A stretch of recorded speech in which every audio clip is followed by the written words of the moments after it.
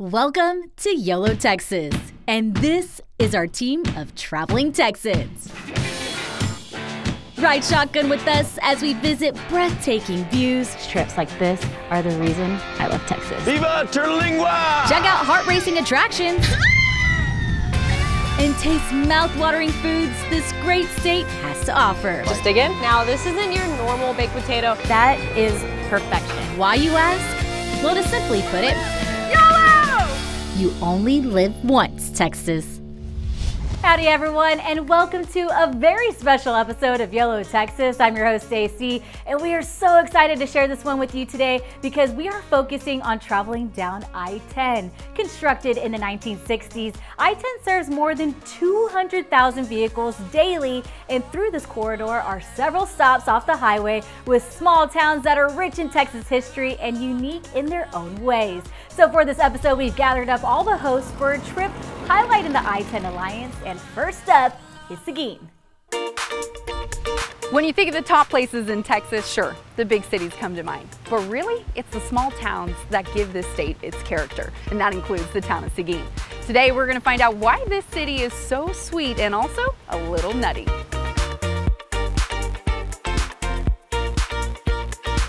So Kyle, Seguin is one of several towns that make up the I-10 Alliance.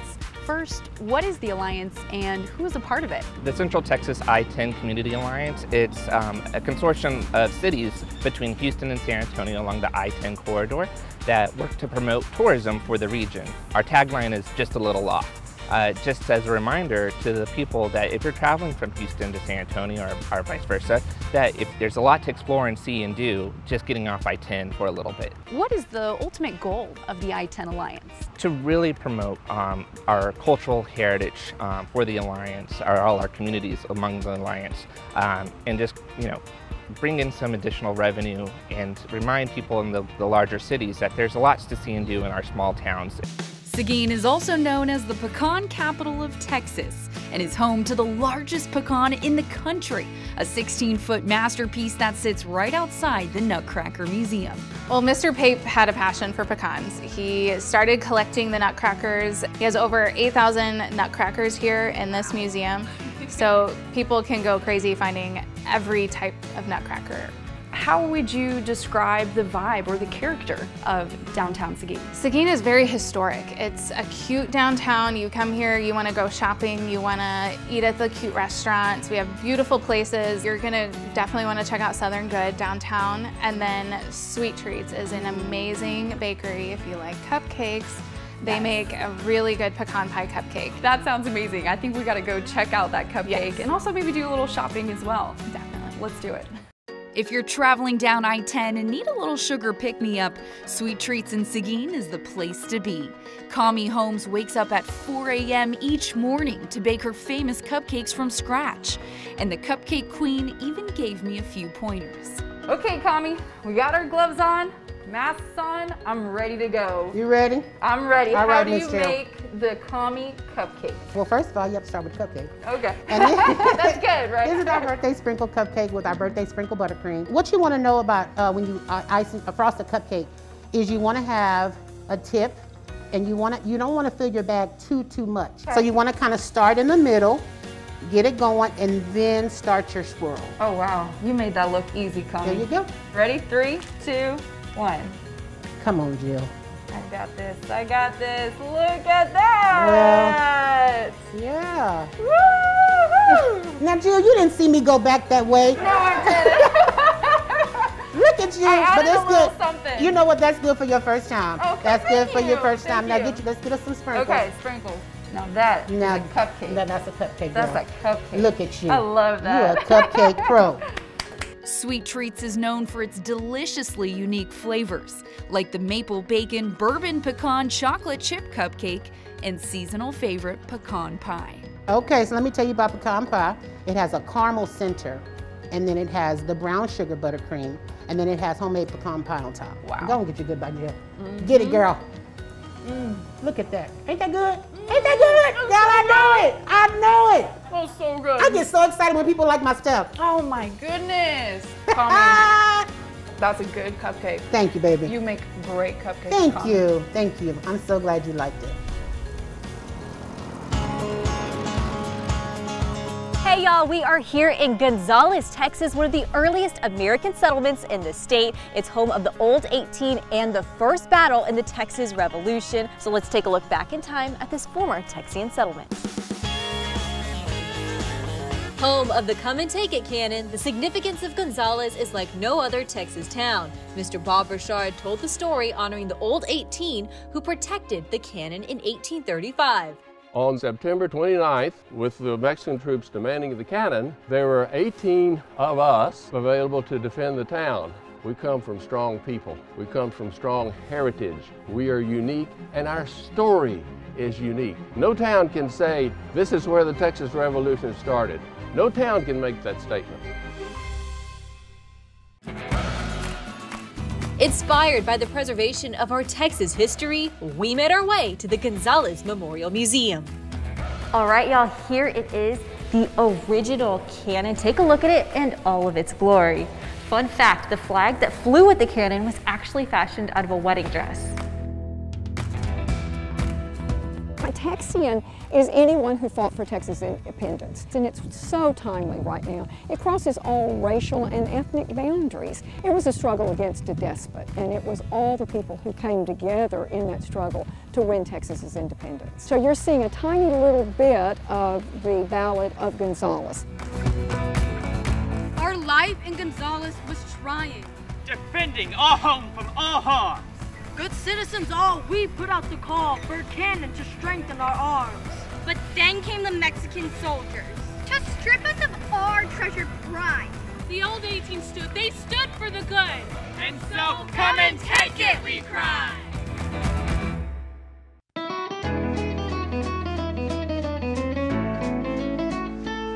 There is no shortage of history in Gonzales, but this Texas town has so much to offer. Everything from a beautiful downtown square to some fabulous shopping. And if you're looking to satisfy your appetite, look no further than Baker Boys Barbecue. So it uh, started me and my dad. Um, you know, we did competition barbecue. It's always been our hobby. Always threw around the idea of uh, opening our own barbecue place. Timing of it just worked out. This spread looks absolutely beautiful, and I know our crew has already tasted Baker Boys at the Texas Monthly Barbecue Festival. So can you tell me a little bit about the barbecue festival and how y'all got on the list? Daniel Vaughn, the barbecue editor for Texas Monthly, came in and um, tried everything. Really didn't believe it till the magazine came out. It's a great honor. You know, as far as Texas barbecue, it's a dream come true, as good as it gets. Stick around, more from Gonzales, Texas after the break. Hey y'all, welcome back to the show where Ariel is picking up right where she left off in Gonzales, Texas. You have quite the spread for us today. Yeah, so um, starting over here, we've got our uh, brisket. Is there a perfect way to cook brisket? That's the thing about barbecue, is there everybody's got their own technique. That melts in your mouth. It has, um, is that like an oaky? We use oak charcoal, oak briquettes. That's delicious. And the next meal we have is our smoked turkey breast, and I like to think that we have one of the better smoked turkey breasts around. That's like the juiciest turkey breast I've ever tasted. it's definitely not Thanksgiving turkey. No, it's not Thanksgiving turkey, it's Texas turkey. Uh, our pork ribs, they're dry rub. It's got a beautiful color. I mean, it fell off the bone. Oh my gosh, that was perfect. I have no words, that was great. Gonzales is full of passion, history, and good old Texas barbecue. So when you make your way out here to see the famous cannon and where the fight for Texas independence began, don't forget to come and taste it too. Hey y'all, and welcome to Cuero, the turkey capital and also the heart of South Texas. Located about 85 miles away from Austin and San Antonio and Corpus and about 103 miles away from Houston, Cuero is centrally located so that folks near and far can come out and visit and enjoy. Cuero Main Street is a designated Main Street program under the Texas Historic Commission since 2013. Um, we have several beautiful, outstanding boutiques. We have award-winning museums, four of them in our town. We have a mural art collection. We look forward to people coming and spending their days in downtown Cuero. So I hear there's a bunch of events that happen here too. So what can we look forward to this year? So we have Cuero's Christmas in the Park coming up. It's a free event. It's a self-guided driving tour. We have 250 lighted displays, over 300 snowflakes. This will be our 21st year. It creates what Christmas is really about. So Cuero is home to four history museums. So if you want to learn how to be a true cowboy, make sure to stop at the Chisholm Trail Heritage Museum. Chisholm Trails Heritage Museum is a wonderful museum. Our main goal is to capture the history of the cattle drives and the ranching tradition of South Central Texas. Yeah. Post-Civil War. So we're basically covering er-, eras from 1866 up until the 1890s, early 20th century. But more importantly, we're also trying to capture the story of the cowboy. The cowboy is such a part of American folklore, and that lone rider, well, you get to learn a little bit about the cowboy, how they came to be, and how there are still tons of cowboys out there today. So as you can see here, we have all the different cowboys of the Americas. We have the Uruguayan gaucho, we have the Chilean huaso, my favorite, the Venezuelan llaneros, and then probably most important for understanding Texas cowboys, the Mexican vaquero. Yes, the vaqueros. Yes, yes, and a lot of the things that you get with the Texas cowboy has to come from the Spanish tradition and mainly the vaquero tradition. The sombrero, the use of yeah. that by the vaqueros, then the cowboys copied it because you need it when you're down here in the hot sun of Texas. Yes. So even though the Spanish went everywhere, wherever they went, they brought the cowboy with them. And they might look a little different, but at the end of the day, they're all cowboys.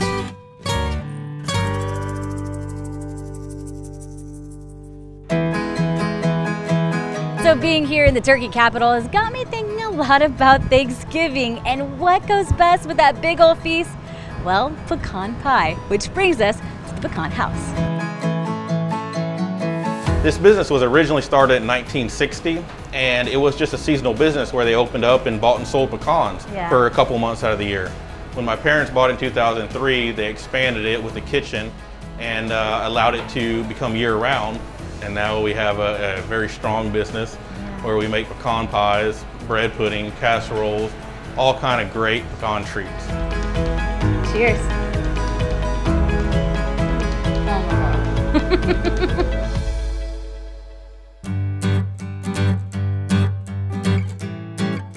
Thanks, AC, for coming out and visiting Cuero today. I hope you had a great time. Yeah. And we couldn't let you leave without visiting our famous Ruby begonia. Oh my goodness, it's Ruby, y'all. Check it out. This beautiful, beautiful bird in the turkey capital. Thank you so much for having us out here. Yes. Make sure you come out to Cuero's because it's a great place to stay, to play, to eat, to shop, all the things you could do right here in this small town.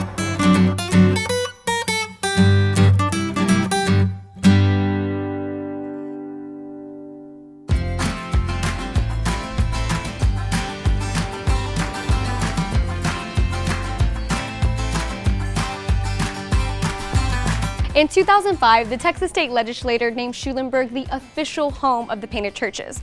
Out of 30 painted churches in the state, six of them are located right here in this former German settlement. We're going to take a look around and show you some big sights in this small town.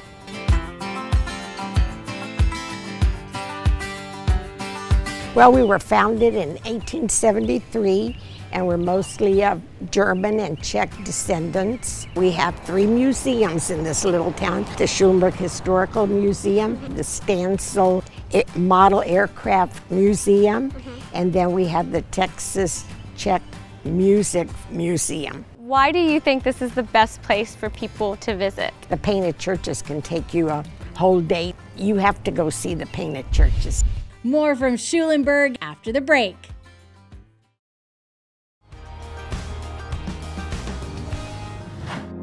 Hey y'all, welcome back to YOLO, Texas, where Tessa is exploring Schulenburg, Texas.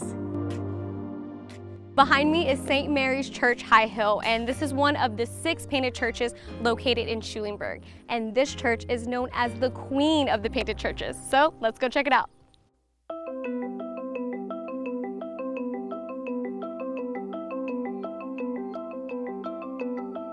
This is one of the painted churches. It's uh, in the big city of High Hill. This is the location, High Hill is where Schulenburg first settled. Back in the uh, 1873, the railroad connected from San Antonio to Galveston, and a lot of the farmers wanted to move closer to the railroad for access to freight and things like that. They tried to emulate the style of worship and churches that they had in Europe when they immigrated to the United States.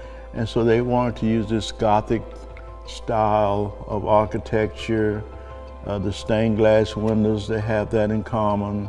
There's a style of uh, artistry on the columns and around the baseboards. It's beautiful. As soon as I walked in, I was just like in awe. I was amazed. I didn't know what to expect, but it's gorgeous. What do you think makes these painted churches so special and why should people come and tour them? Well, I think it's the, uh, the dedication and the reverence that people still hold.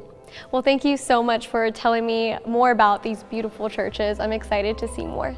You're so welcome. You're so welcome. I'm glad that you all decided to come to Schulenburg. And as our chamber said, we're halfway to everywhere.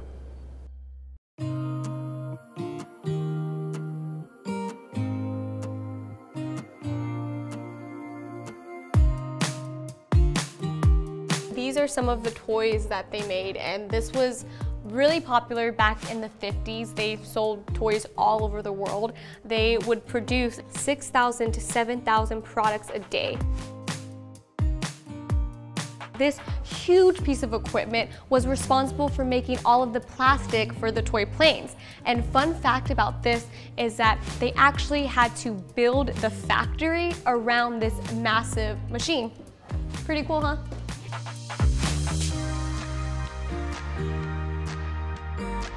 All right guys, so these are the two famous Tricker Jets. Now, let's give these bad boys a try. Two, three. Look at it! Oh my gosh, how cool! As y'all can see, Schulenburg has stood here for generations and they still maintain close ties to their Czech and German heritage. So next time you guys are driving down I-10, don't forget to stop by. Just off of I-10 is Columbus, Texas, a town where you can encounter truly one-of-a-kind experiences, everything from a Santa Claus museum to a wildlife park, which is where we're headed first. From the legendary 1886 Stafford Opera House to the Abram Alley's log cabin and the Antique Tool Museum, there's no shortage of historical Texas culture right in this charming community of Columbus. But we're starting our day with something brand new in the area, Hatari Wildlife Park.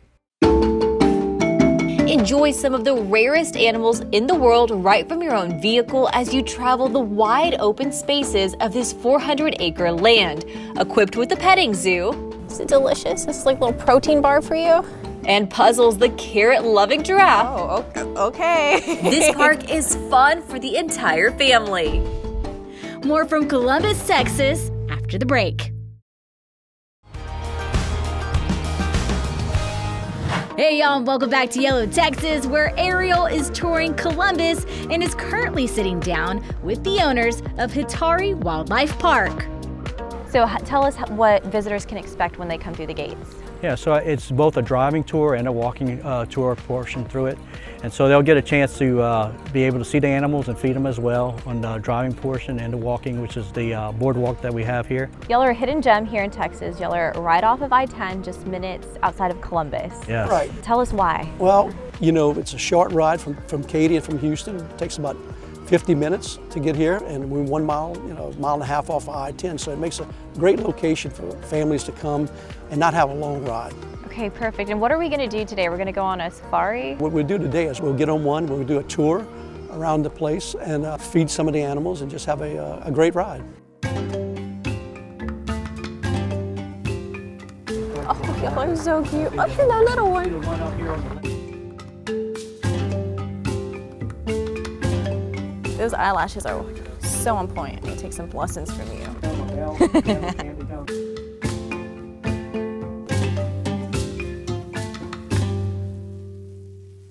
All right, y'all, it's almost that time of year, my favorite time of year, Christmas, and we are about to see the only museum in the South dedicated to Santa Claus.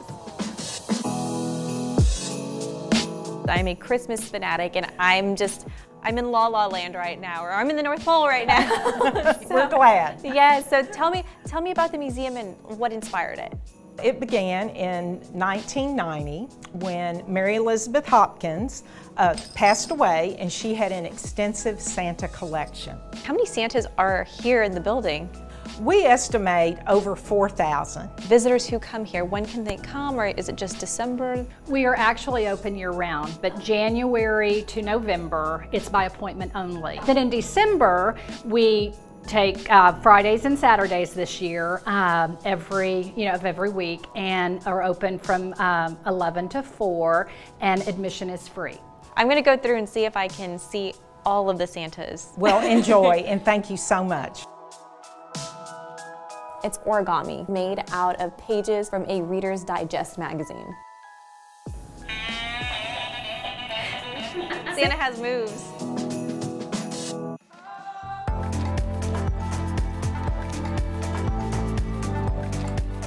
All right, y'all, next time y'all are traveling down I-10, make sure to stop by Columbus. You can even download their app to see the places we visited today, see where you can stay, and check out all the great restaurants that are here. And you can never come to Columbus without stopping by Dairy Cone. I'll see y'all on the road. All right, y'all, that is a wrap on today's travels. We hope you learned a little bit more about I-10 through this special episode. You know, from the pecan delicacies of Seguin to the come and take it Texian pride of Gonzales to the turkey capital of Cuero the German traditions of Schulenburg, and to the unique history of a Texas original Columbus, there is plenty to discover on your drive down Interstate 10. We'd like to give a big thanks to the I-10 Alliance for guiding us along the way. You have truly made each experience so special for each one of us. Unfortunately, that concludes the end of our show. If you want more travel ideas, just head on over to our website, yolotx.com. Follow us on our social media pages and subscribe to our YouTube channel as well. Until next time, remember, it is a big world, so get out there and explore it. You know what they say, you only live once, Texas. See y'all.